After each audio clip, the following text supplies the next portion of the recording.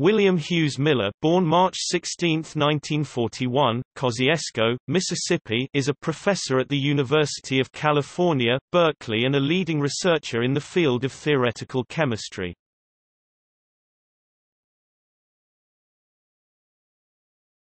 Topic: Research and career Miller is known for his development of semi-classical methods for treating chemical dynamics. From 1989 to 1993, he served as chair of the chemistry department at the University of California, Berkeley, and since 1999 he has been the Kenneth S. Pitzer Distinguished Professor at UC Berkeley.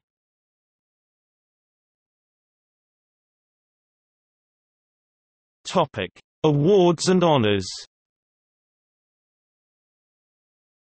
Miller was elected a foreign member of the Royal Society of London in 2015. His nomination reads, Professor Miller's papers over the last 45 years have essentially defined the field of theoretical chemical dynamics.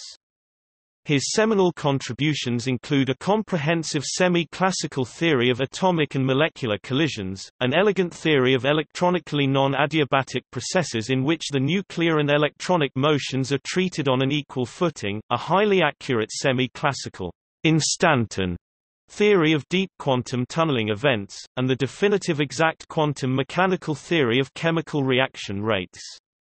These fundamental developments are at the root of the agreement between theory and experiment that we are now accustomed to seeing in chemical reaction dynamics, and the basis of essentially all modern theoretical research in the area. Miller was the 2007 recipient of the Welch Award in Chemistry. He is also a member of the National Academy of Sciences and the International Academy of Quantum Molecular Science.